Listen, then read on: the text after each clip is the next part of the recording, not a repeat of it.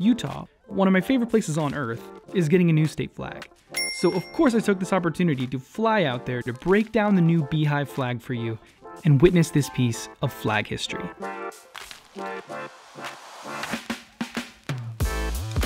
If you've been following Flags for Good for a little bit, you probably know about my Better State Flags series, where I redesign all of the bad US state flags. In fact, I did an entire TEDx talk about this topic at Utah State University back in like 2021.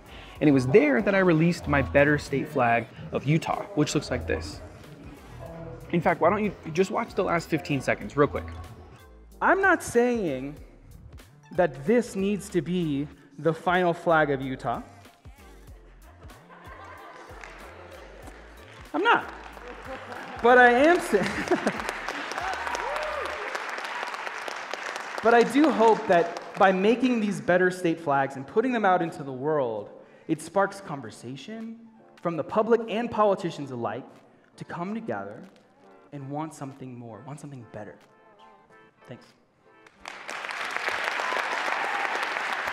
So that was almost two years ago.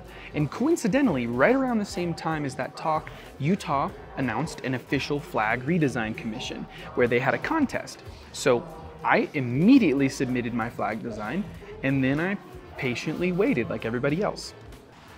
Well, I take that back. I didn't wait patiently like everybody else because I found out how cheap digital billboards were and I just went ahead and bought a bunch of billboards advertising my design and put them all around Salt Lake City. They look like this. So then I made a TikTok about the billboards, which ended up getting more views than the billboards themselves probably. But all of this was kind of just a joke. They were cheap and I thought it was funny. And then I opened Twitter and I see that State Senator Dan McCay, who is leading the flag design commission for the state of Utah, tweet me and say, did I just see a billboard with your flag design? For the less than $100 I spent on digital billboards, worth every penny.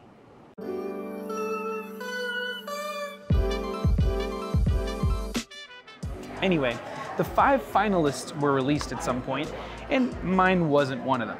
You can see that four out of the five of them had a beehive on it, and we'll explain why a little bit later.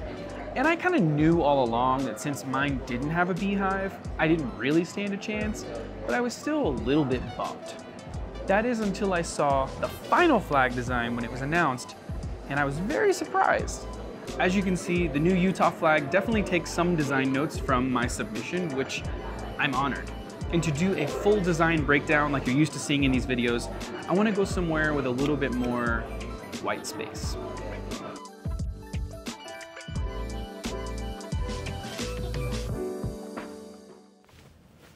Is this far enough? Hope so. All right, let's finally break down the design of this new Utah flag. The base of the flag is red, and that represents the iconic red rocks and canyons of southern Utah and perseverance. Out of that comes five white peaks, and that represents the iconic snowy mountains that are surrounding me right now. In both my design and the new flag of Utah both agree that the five white peaks should represent the five indigenous tribes of Utah that hold this land sacred. And above that is a blue sky, which the final legislation says represents faith, which is obviously very important in Utah's history.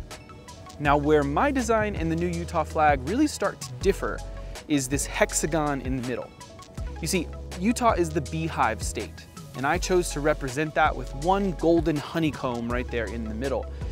They've taken that hexagon, but they've added a lot to it, and they're adding a lot more meaning to it as well. They say that the hexagon represents the strength of the people of Utah, and inside of it is this beehive that we keep seeing, it keeps coming up. And to finally explain what the beehive means, I should probably head back into town. No, I'm just gonna take you. Let's go. Well, it's gonna take me a second to get to you. Hold on. All right, you ready?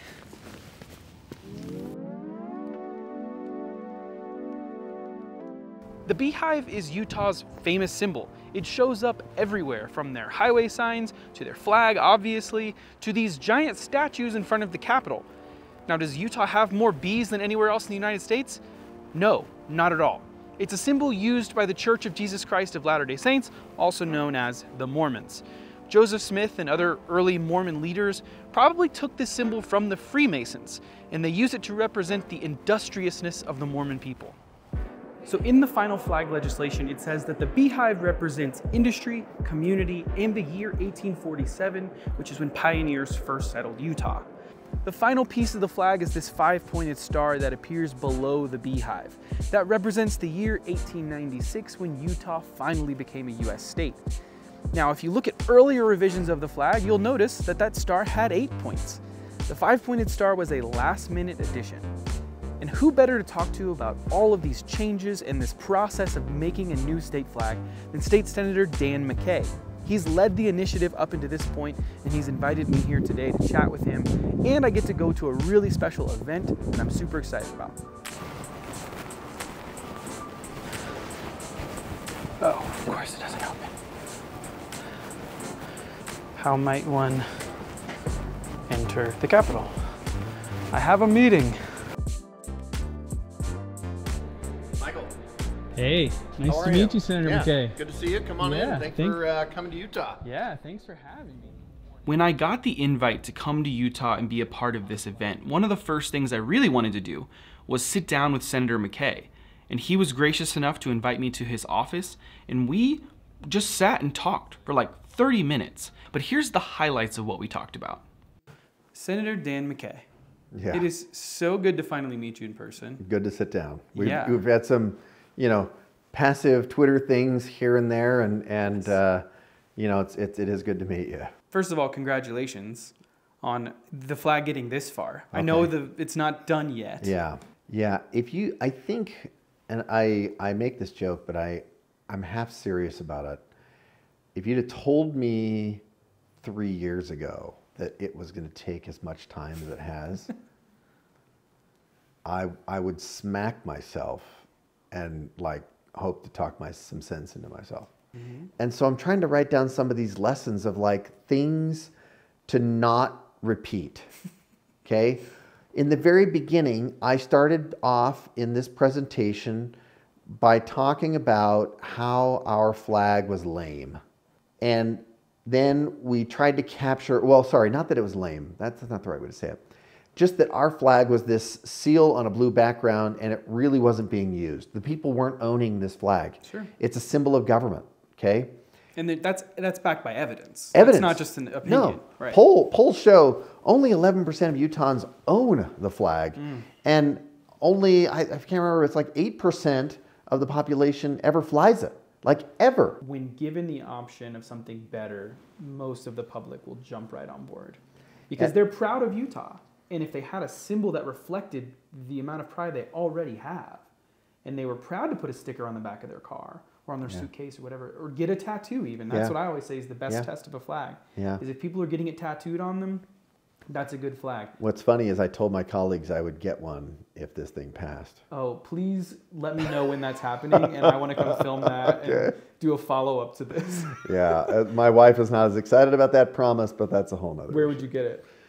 Uh, I- haven't given a lot of thought to that part of it yet. Just uh, you know, I, I will emotionally get myself in that in that position. But um, I believe that when we talk next year or the year after, that Utah, it, it's going to change Utah. I, I really, I really do believe that this is going to be a thing that changes Utah. It's beautiful to see legislatures come together and work together because if you look at you know the series that I did, the Better State Flag series, I say I- have no faith in the government to do what you're doing. Yeah. You know, I've seen it fail so many times, and I've Yeah. seen these designed by committee things become very ugly, Yeah. physically and in the press. And so my approach to the thing is to be just guerrilla about it. I mm. just made it, I printed it, I sold it. Yeah. I put up billboards around Salt Lake City that you saw. Yeah. so like I just come with this guerrilla approach because I have so little faith that this can happen and you are giving me the faith that this can happen at the state level, which is huge. I've seen cities fail at this so many times. Yeah. And so to see an actual state, and a state which I love and I would love to live here at some point in my Yeah. life, to see that come through has been truly inspiring and uh, I wish you the best of luck and uh, I'm excited about the event tomorrow and Yeah. uh, thanks so much for meeting with me. You're welcome. The next day was the event that I had come for. It was a press conference where all of the 70 plus designers that had influenced the final flag design got to come to the Capitol and be recognized. We all got miniature versions of our flag designs and got to mingle with each other, which was a lot of fun. And one by one, they called us up to give us a letter from the Lieutenant Governor as well as an $100 gift card. Michael Green from Indianapolis. Did you come here all the way from Indianapolis? Oh, thank you. There was a time when I thought that this was a ridiculous idea, a bad decision, and, you know, in fact, one time in committee I voted against it. It was so much fun getting to meet all of the other designers. I took pictures with fans, which I did not expect, and I even got a Beehive flag lapel pin, which was pretty cool. But now, the Beehive flag is official. As I'm recording this, it's passed both the House and the Senate, and by the time you're watching, it's probably already been signed by Governor Cox into law. And of course, if you want a new Beehive flag for yourself, we have them available on flagsforgood.com. We have flags, we have stickers, we have everything you need to represent the new Beehive flag and your Utah pride. When I started Flags for Good, I would have never guessed that something like this would happen, but at my core, I am a flag nerd, and this has become the greatest job on earth. I'm Michael from Flags for Good. If you enjoyed this, please give us a like, consider subscribing, and most importantly, thank you so much for watching. This, these are not the right shoes. There's literally an elk. There's an elk. Should I be scared? Uh. Man, it's pretty out here. But it stinks. It smells really bad. There's a seagull. Why? We're not even close to the ocean. I thought seagulls were only at the ocean. There's a seagull at the Great Salt Lake. I'm learning so much.